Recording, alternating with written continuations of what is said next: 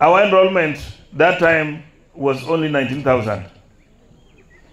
Right now, within two years, we have 46,000 children in school. And uh, that is including ECD. If we withdraw that, you can see we will lose half of the children out of school straight away. So I would like to appeal that you, if you want to withdraw school feeding program, give a warning of about 10 years so that people prepare for it. That by this time we did not have this.